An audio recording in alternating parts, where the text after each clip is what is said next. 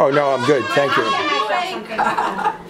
Danny, come here, Want to baby. come sit next to Daddy? Here, Let me take your sweaty hair off. That's all you had to do is show with dogs and cats. Apparently. I'm gonna watch y'all make a Got any books? Have you read all these? Uh, well, Lisa's read probably a third, and I read the other ones.